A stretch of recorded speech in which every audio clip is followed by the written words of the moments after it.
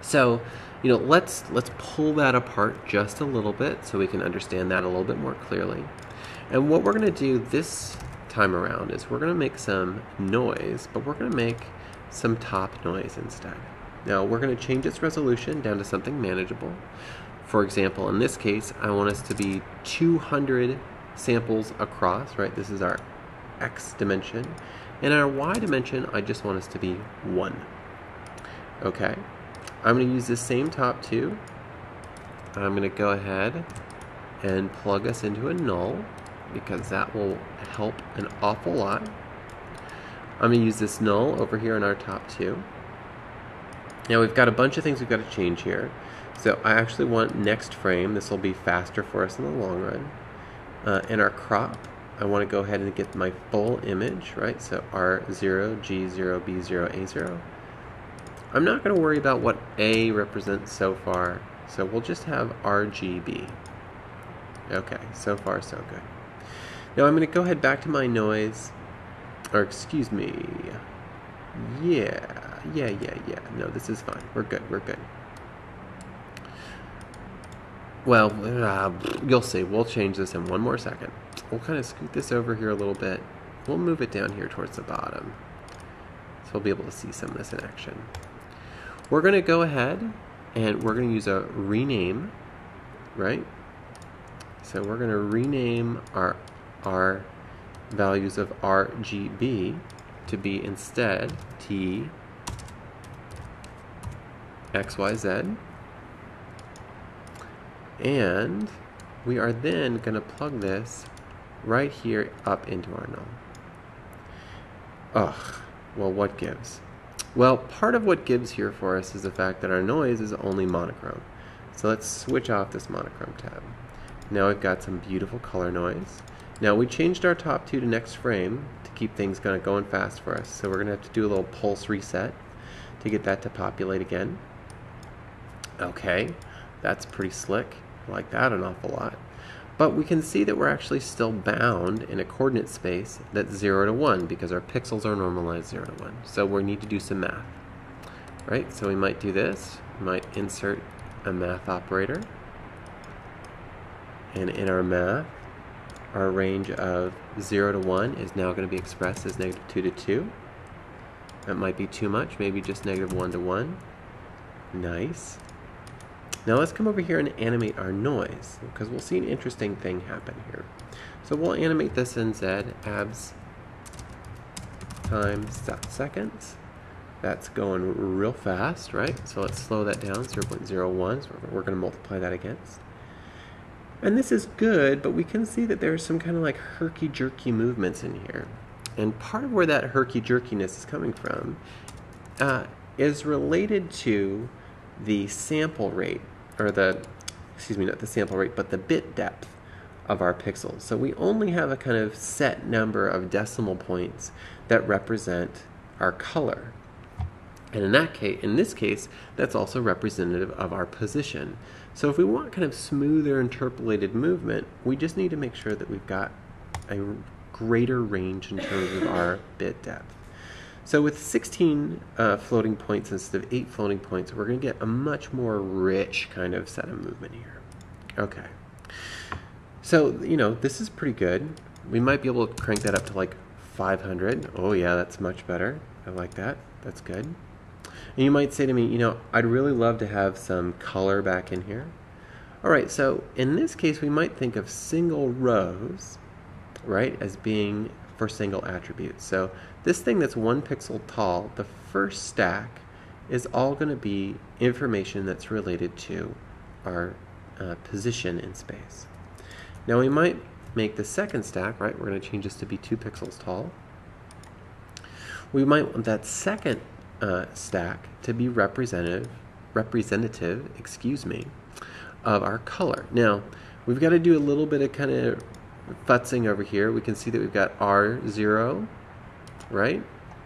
So we need to make sure that we're, in this case, star 0 is going to get turned into TX, TY, TZ. Star 1 is going to get turned into RGB. I think that'll work. slick. We're going to need another math. And we're probably going to need to do something like this. We're going to scooch this over a little bit. We're going to need to insert a select, right? And in this case, we're going to go ahead and select out just our t, x, y, z values. So those are representative of what's going on there in our positional space. RGB, R, GB. We're going to grab those to be our pixels, or to be our color rather. And in this case, right, we're kind of lucky here because these are already normalized, so we can get rid of this math. We don't need that. We are going to need a merge to put this all back together. So we'll plug in our translation and our color information here.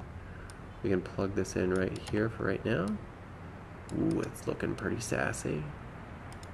Let's scoot this down a little bit more. We can go ahead and think about, well, maybe we want more instances. And maybe I want like a thousand instances. Right, we're still running here at 60 frames a second. We're not breaking a sweat yet.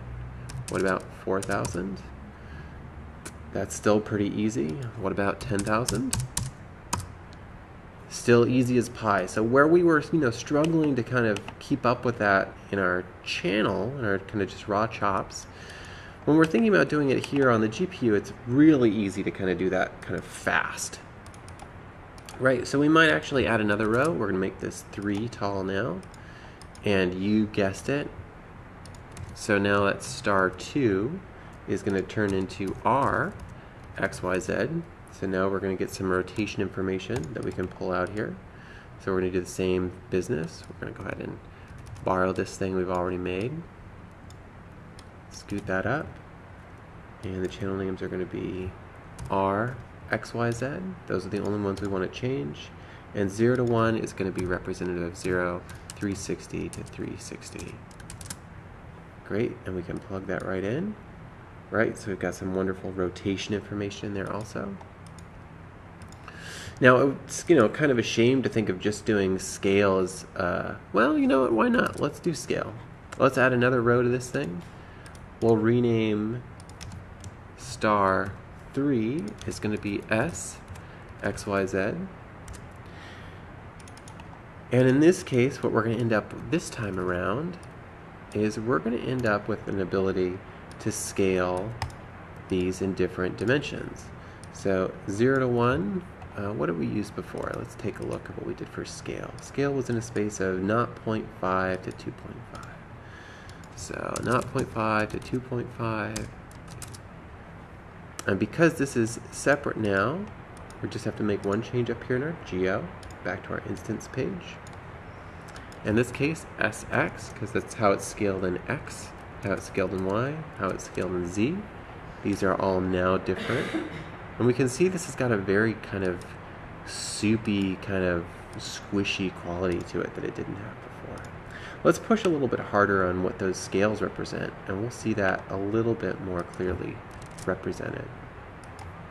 Right, if we go 1 to 10, we can see that there is kind of some more squishy space in these multiple dimensions. Now, we're still pretty tight here, so we might think about in our space scaling, we might crank that up, maybe negative 3 to 3.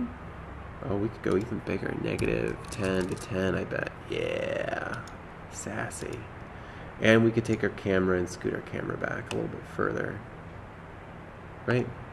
So, you know, this gives you a way to kind of think about how you do these uh, instance operations both in Chopland, um, which is very efficient, can be very exciting, as well as how you might do it um, thinking like a GPU and how you can kind of embed lots of information into a single pixel.